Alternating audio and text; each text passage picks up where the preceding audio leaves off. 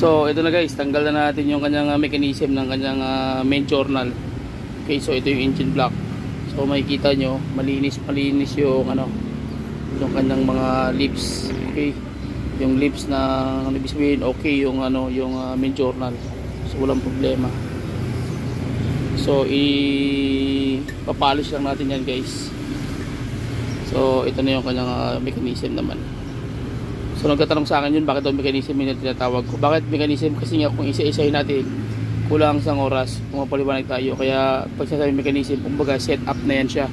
Okay, isa ka set na yan na kwentuhan para magkaroon ng specific talaga na general term na ginagamit. Okay po.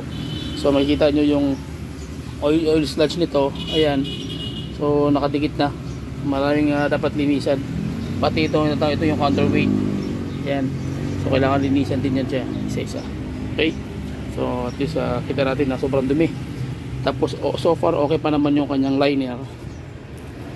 Yan, yung liner niya guys, okay pa naman. Okay pa. Iahado lang natin yan, lalagyan natin ng hado yung treatment yan pag, pag nag-asimbula tayo. Okay?